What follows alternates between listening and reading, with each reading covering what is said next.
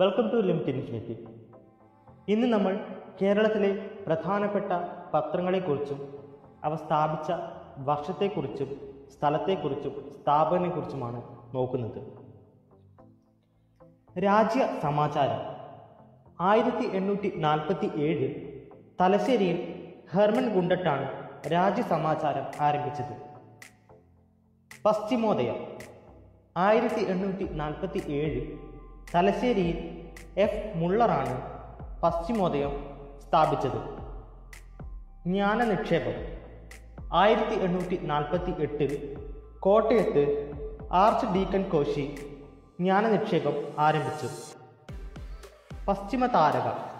ആയിരത്തി എണ്ണൂറ്റി അറുപത്തി രണ്ടിൽ കൊച്ചിയിൽ കല്ലൂർ ഉമ്മൻ ഫിലിപ്പോസ് പശ്ചിമ താര പശ്ചിമ താരക സ്ഥാപിച്ചു. സന്തുഷ്ടവാദി. ആയിരത്തി എണ്ണൂറ്റി അറുപത്തി ഏഴിൽ കോട്ടയത്ത് ഡബ്ല്യു എച്ച് മൂറാണ് മൂറാണ് സന്തുഷ്ടവാദി പത്രം തുടങ്ങിയത്. കേരളമിത്രം ആയിരത്തി എണ്ണൂറ്റി എൺപത്തി ഒന്നിൽ കൊച്ചിയിൽ കണ്ടത്ത് വർഗീസ് മാപ്പിള കേരളമിത്രം പത്രം സ്ഥാപിച്ചു.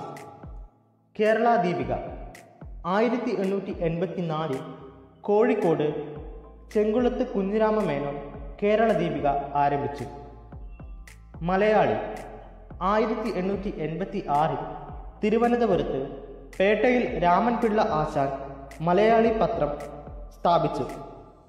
ദീപിക.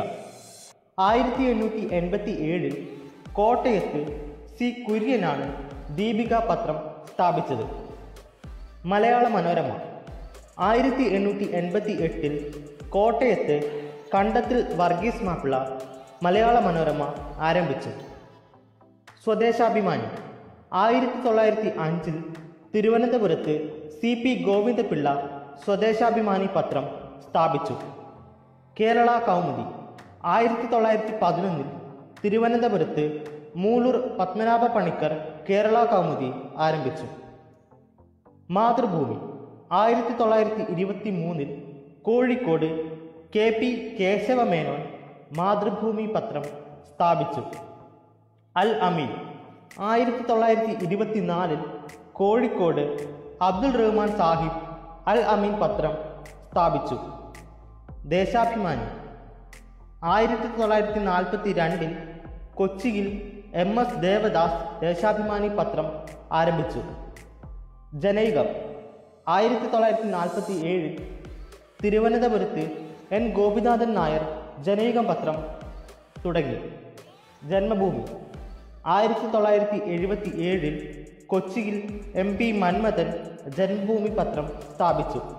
മാധ്യമം. ആയിരത്തി തൊള്ളായിരത്തി എൺപത്തി ഏഴിൽ കോഴിക്കോട് പി കെ ബാലകൃഷ്ണൻ മാധ്യമം പത്രം ആരംഭിച്ചു.